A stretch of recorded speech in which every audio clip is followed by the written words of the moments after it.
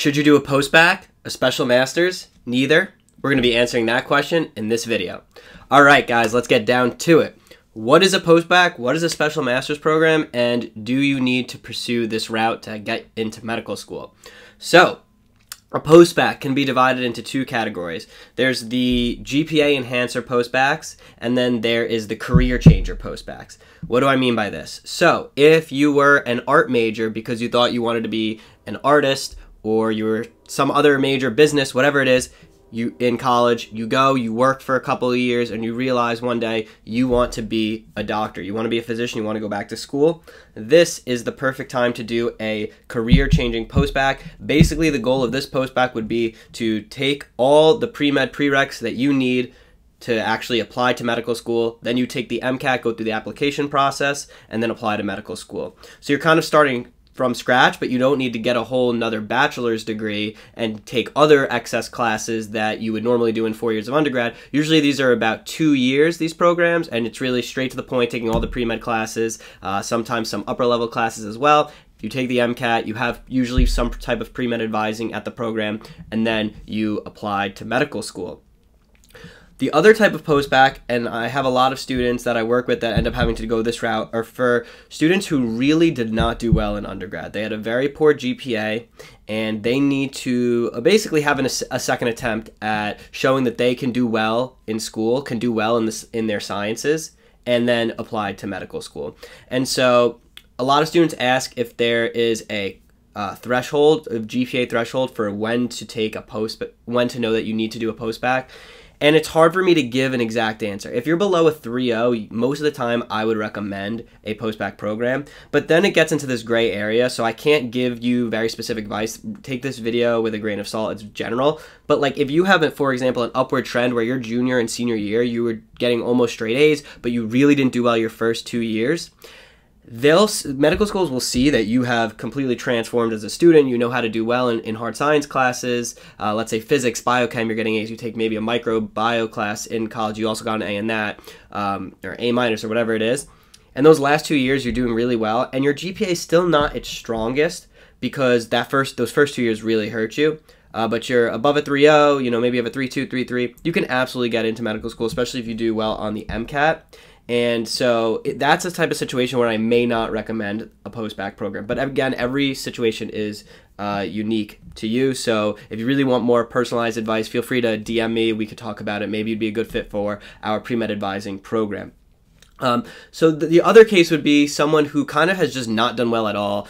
There was no upward trend in their GPA. Senior year, they were still getting C's, D's in their in some of their classes, um, and maybe even if they had like a three one GPA or something like that, but really just never shown that they can excel in the hard sciences. This might be a time where you would still need a post-bac, especially you didn't do maybe well in the MCAT if you took it when you weren't prepared. Um, a grade enhancing post-bac might be a good option for you.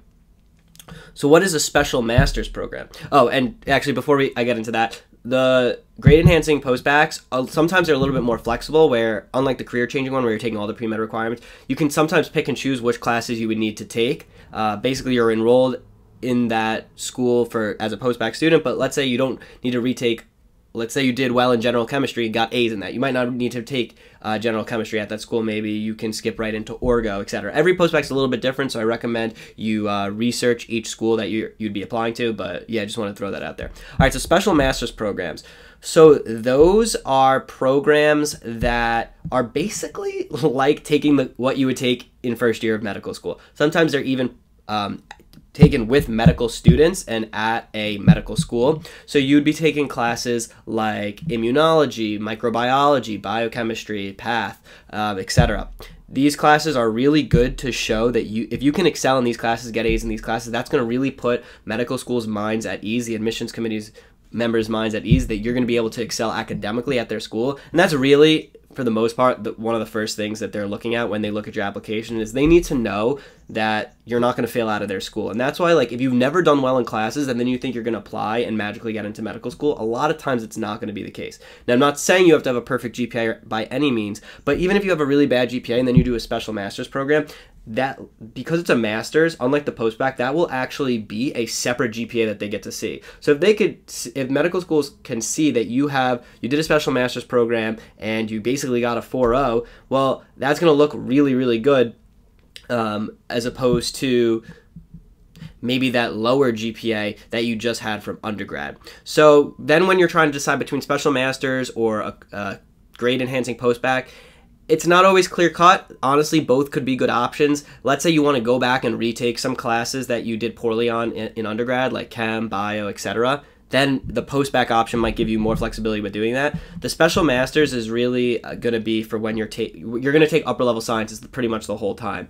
I wouldn't some a mistake I do see students make is doing a master's in something else like global health or, or something like that. That's great and could be like a good gap year thing if you really want to get that master's. Uh, but it's not going to prove even if you get a 4.0 in that program, it's not going to prove that you could really handle the hard sciences that you're going to have to take in medical school. So that is not what I would do if you're someone that really needs to show that they can improve their GPA and do uh, well in these hard science classes. It's going to be a special master's program or a postbac. So hope that clears some things up. If you have any other questions about this topic, drop it uh, below. And if you're enjoying these videos, you want me to make more of them, then I'd love if you could subscribe and like because the more love I see from you guys, the more motivated I am to make videos. So I would really, really appreciate that. And I'll see you in the next one.